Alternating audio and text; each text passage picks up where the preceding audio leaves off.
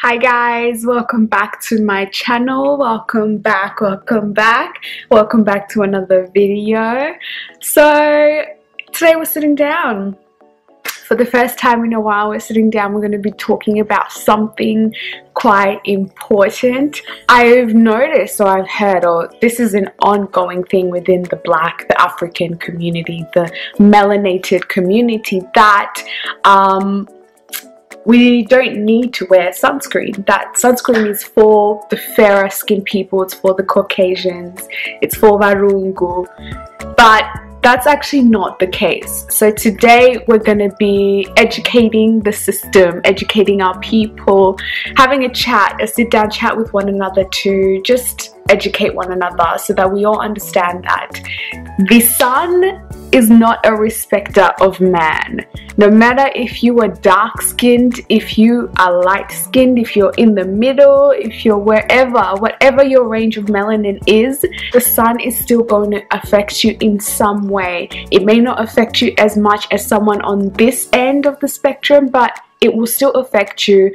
You may not see it now, but you'll see it later on in life. Before we get into the video, we're going to need to put on the right equipment because we're going to be talking about some science stuff. I'm going to put my lab coat on and we're going to put my glasses on and we're going to jump straight into the video. So let's get a little bit into the sun, uh, which is the main cause of, I guess, all of this. So there is visible light and there is non-visible light. Visible light is things like the rainbows that you can see and non-visible light is the UVs and stuff like that. I'm going to put a diagram here so that you guys can see. So UV, UVB, UVA, UVC is a part of the non-visible light, which is the light that the sun gives to us. The main types of UV rays that penetrate the earth are UVA and UVB. There's another type which is called UVC. UVC is blocked by most things such as the clouds and windows so we don't need to worry too much about UVC but UVA and UVB is where our main culprits are. So UVA rays they can penetrate into the skin um, and they're the ones that usually cause premature wrinkling and premature aging because they can penetrate into the dermis of the skin. UVB are the type of rays that don't penetrate the skin but they do um, attack or sort of do damage to the superficial layer of the skin so the top of the skin they're the main culprits for the burns that you get so back in the day sunscreens only used to sort of help um, to block UVB instead of UVA as well. But now these days you'll find that most sunscreens do cover for both UVB and UVA. If you're looking for a particular sunscreen to get, make sure that you get one that helps against UVB and UVA because they're both quite bad for your skin. So the way essentially that sunscreen works is that sunscreen acts as like a protective layer. That's why you need to reapply sunscreen because at the end of the day, um, the protective layer can only last for so long and it can only protect against a certain amount of UV rays. So it's recommended that when looking for sunscreen, you get one that is 30 plus SPF SPF means sun protection factor. When I was doing my research, I found that 30 SPF is accountable for about 97% sun protection. So obviously the higher you go in number, the better protection you get. I wear sunscreen every single day. I would prefer to wear sunscreen and I recommend people to wear sunscreen every single day and use it a part of their daily routine instead of applying it when needed. Obviously with every scientific paper you need to touch on previous papers that have been done. Today we're going to be touching on, it's not a paper, but a picture that I saw the other day on Instagram and I found some research on this picture.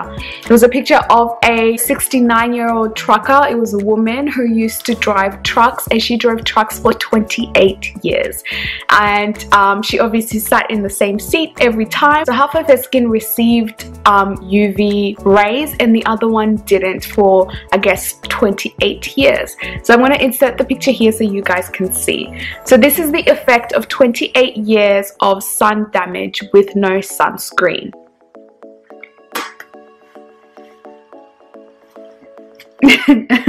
Need I say more? I know so some of you may be thinking you're special. I know some of you may be thinking, you know, you you're born different or whatever. But sorry to burst your bubble guys, there is no SPF in your skin. You are not built with sunscreen. You have just been given melanin, which acts as sort of like a barrier, but it doesn't protect you. So you are at a lesser risk, but it doesn't protect you from the sun.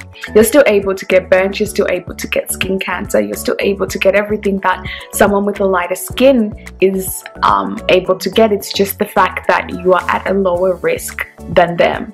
But that doesn't mean it could never happen which is why you need to protect yourself. We may not see it now um, because our skin is looking great and it has all this elasticity and whatever, and we're glowing, but we may start to see it later on in life when our skin begins to wrinkle and sag um, a lot more. Because UVA does penetrate the skin more, it gets deep in there. So it really, you know, takes its time before it starts manifesting in your life.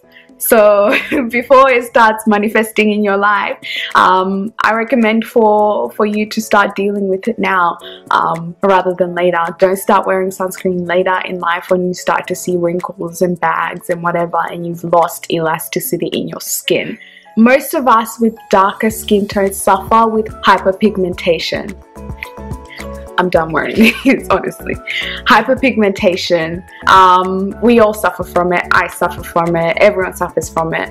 Um, you get a pimple here, neck minutes changed, and it's dark and whatever, and you spend all this money trying to fix it, trying to get it to be um, back to its original shade, or trying to get it to be lighter than what it actually is. I've got some bad news for some of us who don't wear sunscreen. Hyperpigmentation actually gets worse with because of not wearing sunscreen. Obviously, when you're out in the sun and whatever, and the sun, the UV rays are hitting your skin and stuff, your skin gets darker in response to the sun to protect itself. This means that the darker spots of your skin will get even darker. So your hyperpigmentation will get darker because it's protecting itself against the sun. So in turn, you're sort of undoing everything that you've done because you're trying to treat hyperpigmentation and you're using all this stuff to try and treat it but then you go out and you're not wearing sunscreen and then your skin is compensating for pretty much your lack of care. I said it I said what I said. Um, and then you know you end up getting darker spots. So for some of us who are trying to treat hyperpigmentation the best way to treat hyperpigmentation is sunscreen. Because obviously we all want to have nice baby smooth skin at the age of 40 you know we want to keep that standard up that you know aging like wine we want to keep that standard up of aging like wine and we can't do that if some of you are not wearing sunscreen. You're letting the team down. get yourself some sunscreen. I know you may be asking what sunscreen do I get? Tatenda, I've tried some sunscreens and they leave me looking like a ghost. Lucky for you, companies these days, they have our back back in the day, about five, ten years ago, they, they really didn't care about us. They didn't really have our back in terms of sunscreen and foundation. But times are changing, things are changing. There are products out there that we can now use that don't leave us with a white cast. Like the one I told you guys about, the one that I use, it is tinted. So let me show you guys.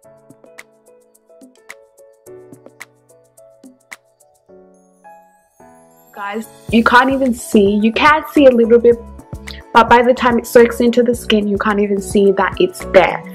There's plenty of videos on the best sunscreen for um, darker skin people. You can go have a look at them to see which one you want to get. Don't waste your money buying just some random one because you'll end up looking like a clown. For me um, the one that I use and the one that I would recommend is again um, the La Roche-Posay the tinted one. So yeah, that's the end of the video. I hope you guys have liked the video. Don't forget to comment down below if you use a sunscreen or not, or if you're going to start using a sunscreen from, from now on. And like the video if you like it. Share it with your friends and family so they know that we need to keep the standard up. so I'll see you guys next week. I love you guys so much. Mwah.